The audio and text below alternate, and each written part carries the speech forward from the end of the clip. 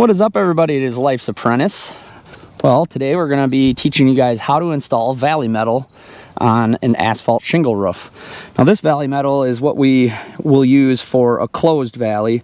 Um, there are other types of valleys which will be installed slightly differently um, for an open valley. And in a case like this, you really don't need to put in valley metal um, on a valley like this. But it is recommended.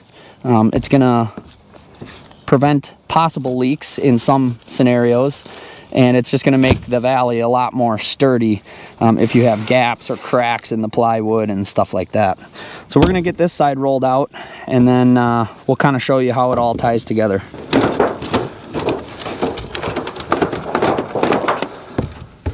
Now this valley is 20 inches wide, galvanized. You need a snip. Uh, I believe it's, I don't know, it's probably 28 gauge. We're going to want to make sure at the bottom that we have plenty of extra. Good enough? Yep, yep. And then he's going to cut it and give it some room up at the top. We'll show you that in a minute. It's kind of a two-man job here and we'll show you a little bit more detailed here once we get it set. We want to make sure that we're centered in the valley, roughly. Um, it doesn't have to be perfect but you want to get it as close as possible. You liking that? Love it.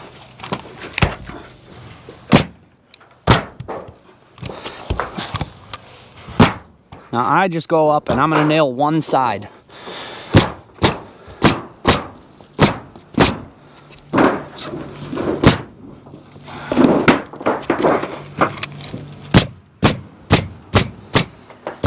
So we have one side nailed okay, all the way down. Now what I do is I stand in the valley to make sure it's nice and tight. And I'm just gonna work my way down. Again, we're nailing right up on the edge, not down in the valley.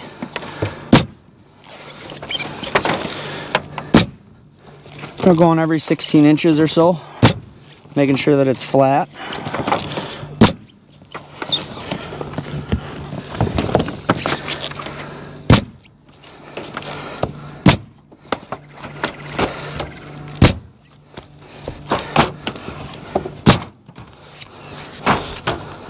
Especially down here, you want to make sure it's flat. Otherwise, you're going to have a gap right where your gutter apron is. If it's not tight down to the gutter apron, you're going to have a big hole there. Just going to take a snip and cut this. I'm cutting it, I don't know if you can see, quarter inch above the D-edge.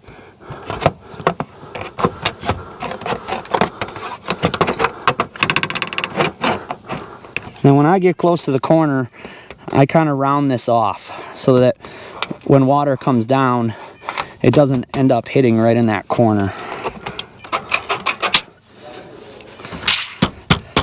There you can see how that looks. And this is sticking out about an inch, just right in that little tiny zone. Now at the top, we have all this overhang here. You can see where the ridge dives into this roof.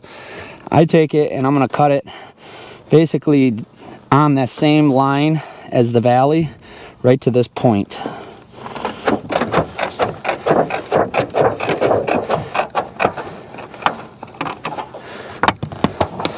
Okay, and then this is to fold over. Nope. Need nails. Now we got nails. We're to nail this.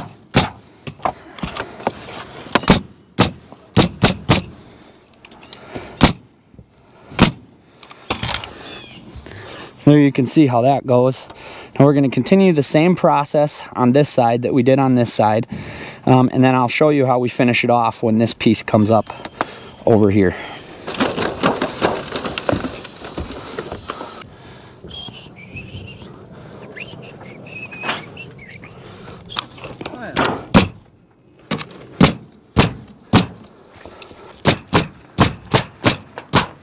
Again, nailing one side and one side only.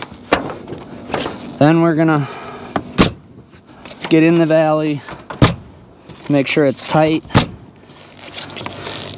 Nail it where it's nice and flat, no wrinkles, because that'll show through on your shingles, and we don't want that.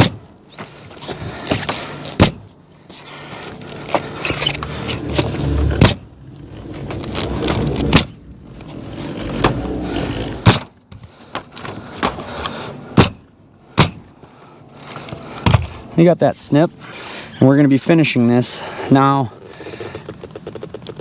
the way that you do this is gonna dictate um, what type of valley you're doing. If you're doing an open valley, you're gonna have to make sure that this is pretty watertight. Um, but what we're gonna do is basically the same thing we did on the other side.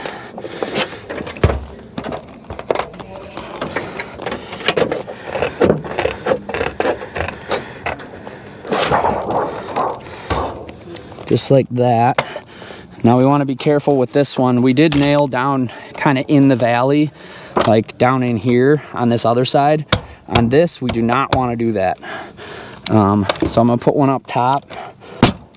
Ridge and everything's gonna cover. I'll put a couple there. And we wanna make sure that this is tight.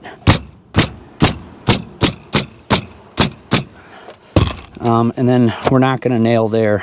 Um, I guess you can if you want up here because your ridge is gonna your ridge is gonna cover this. Um, if you really are concerned about leaking or anything like that, if you're doing an open valley, um, you can by all means you can tar this, you can caulk it, seal it however you want. Um, but we do not do that because we're gonna do a closed valley. So none of this will be seen. Um, and what this is gonna do is this helps prevent if water gets in, say it's an ice dam or something like that, if water gets in and leaks in the valley, ideally it gets onto the metal and runs out underneath the shingles.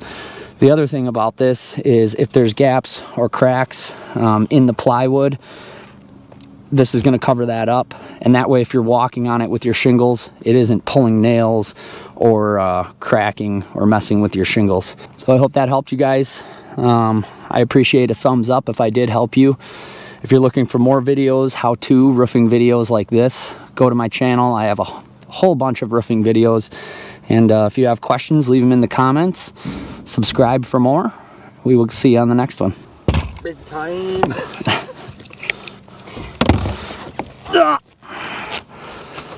Oh, you want to shingle a bit? Take this away. Sure. I don't care. You can start right there. That other side or no, not right now. We can. We got we got time. If nothing else, it's laid out.